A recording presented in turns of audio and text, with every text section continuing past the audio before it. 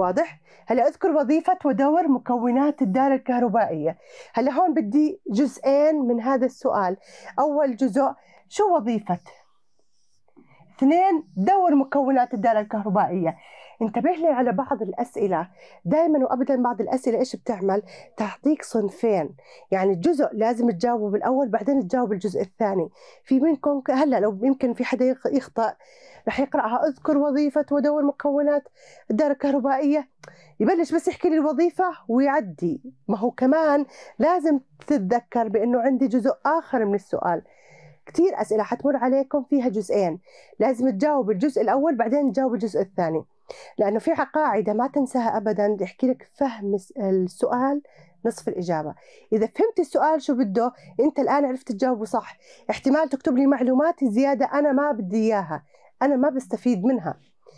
طيب فهون عندي البطارية. هلأ بدي أبلش أحكي عنهم واحد واحد. هلأ بطارية تعد البطارية مصدر الطاقة في الدالة الكهربائية. إذا من أين نحصل على الطاقة في الدالة الكهربائية؟ من البطارية.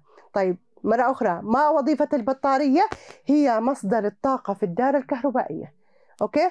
نكمل.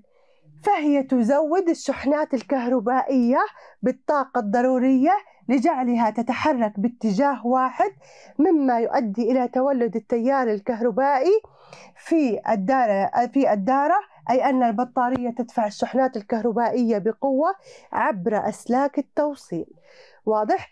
إذا أنا عرفت كل جزء موجود في الدائرة الكهربائية شو أهميته البطارية هي مصدر الطاقة وهي اللي بتزود الشحنات الكهربائية بالطاقة الضرورية حتى تجعلها تتحرك باتجاه واحد. طب إذا تحركت باتجاه واحد إيش راح يصير عندي؟ الآن راح يصير في عندي تيار كهربائي.